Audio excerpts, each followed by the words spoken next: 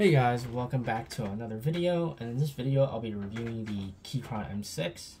So this mouse comes in at $49, weighing in at 78 grams. So what makes this mouse so uh, important? I guess is mainly because of the shape. So to start off, let's start with the shape. So this mouse is clearly inspired by the Logitech MX Master. It has the same hump right here, or and the same type of uh, ergonomic uh, structure of the mouse. So let me pull my MX Master right here. So from this top-down view, you can see that they're actually quite similar. However, as you also see, the MX Master is also a lot wider than the Keychron M6. So the Keychron M6 in hand actually feels a lot more narrow, making it like feel a lot, making it feel smaller. So if you thought the MX Master was too bulky, this mouse will actually might be better. However, personally for me, I actually uh, prefer the mouse to be a bit more wide. I feel like this mouse is too narrow, and for me, the MX Master might be a little bit too big. So I think something between would have been a much better. In terms of the length of the mouse, I feel like uh, they're quite similar. I don't see any uh, anything too different between uh, the length itself. Maybe the MX Master is slightly longer, but it's actually not that big of a difference in terms of that. So that feels actually pretty, quite similar. The hump, however, actually feels a bit different. So when I put my hand on the Keychron M6, uh, I'm not sure you can tell, it, the hump is like more centerized versus uh, the hump on M MX Master is more towards the back a little bit more. So arches a little bit more backwards. So it gives you that uh, grip, uh, it gives you that uh, taper grip like this versus MX Master, you're actually more you're claw gripping it. So so this mouse could actually be uh, better for gaming, despite it being uh, MX Master inspired shape.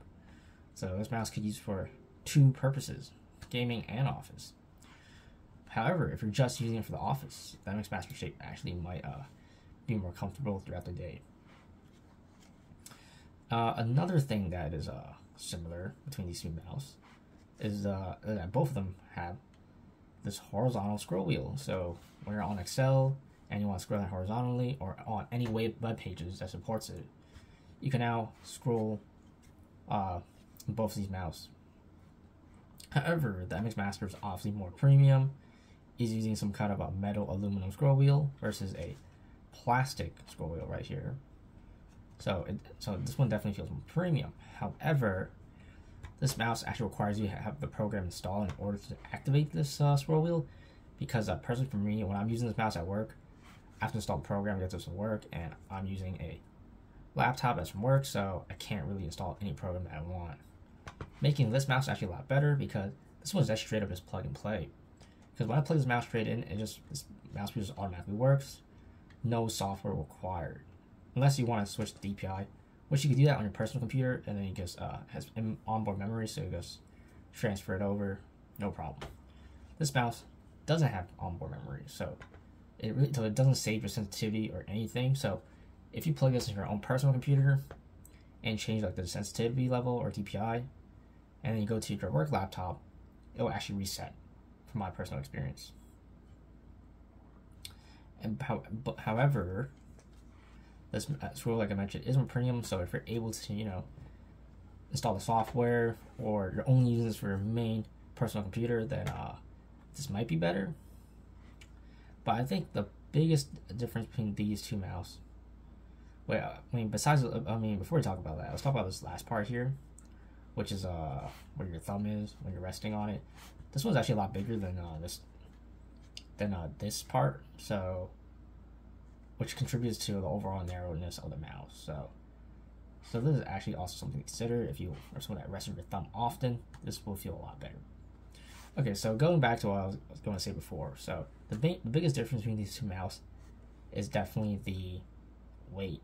So this only weighs in at 78 grams. And surprisingly, it's pretty well distributed. So like the weight balancing is actually pretty good.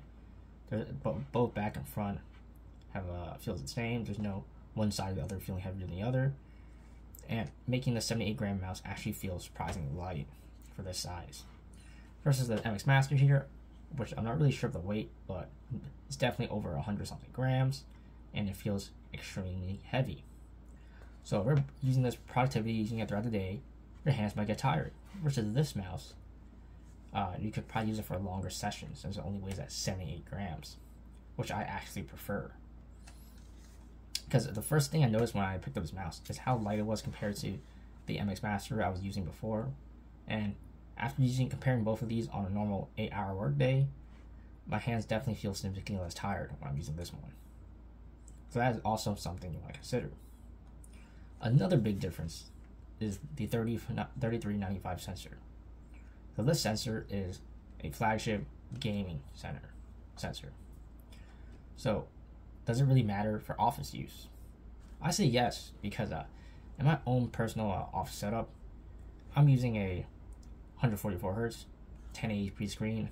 I'm using two of them. So that's what I use for work because uh, they can actually be picked up for quite cheap these days. And when I'm using this mouse, the 1000 uh, polling rate definitely feels a lot better than the uh, 125, I believe, on this mouse. I, I, I notice we feel like a better cursor movement, mouse movement, even just doing like, you know, Excel work or document or PDF work, you can definitely feel this mouse feels a lot smoother, especially on a 144 Hz display. But that obviously that your mileage may vary if you're using a 60 Hz display, for example, for work. But I'm personally using a 144 one, and this mouse feels a lot better. And in terms of other features of mouse, this mouse also has Bluetooth, just like the MX Master, as well as uh, different DPI stages, which this mouse doesn't. Uh, so, and also this mouse has the infinite scroll wheel, just like the MX Master. So if you were to click this button, you can scroll uh, indefinitely, just like the MX Master here. Not as a uh, premium, obviously, but this is good enough for me, and I have no issues with this at all. No scroll issues, doesn't get stuck, and the click is pretty good. And for the clicks itself, I've already mentioned, they're using Huano Blue Dots, I believe, and they feel amazing. And overall, this mouse actually feels pretty nice. However, there's one thing that I don't like about it is that uh, it does feel kind of a like a toy kind of when I pick it up. Like it doesn't this this mouse just doesn't feel as premium overall as something like uh, other lightweight mouse that have been coming out. Obviously not as premium as the MX Master. Uh, there is a coating on here, I think. It, just feels like plastic overall, honestly, even with the coating. So don't expect this to be like an ultra premium feeling mouse, because it really isn't. However, this is like more than what I need for work, and at fifty dollars, this is a no-brainer in my opinion. Unless you uh, really want the uh, more premium feeling MX Master with uh, the Logitech software and the extremely good battery life on the MX Master. I know this mouse you charge it once and not have charged for like forever. Honestly, I, I don't even know if I ever charged the mouse. Uh, but this, however, this mouse also has good battery life. It's not as good as the MX Master, but it's still great. I could use this for like a week at a time, no problems at all with the battery. Uh, and overall, I think this mouse is great and have no trouble recommending it to anybody who's looking for an MX Master alternative, something with a better sensor, and lighter weight. Even though the shape might not be overall as good as the MX Master, I still think you could probably adjust to this and and enjoy it because uh, at 50 bucks, this is hard to beat for the office range. Unless you go for something even more higher range, which is uh, the Razer Bass Ultimate or the G502 both of which uses game sensors also, but they're a lot more expensive and they're also a lot heavier as well.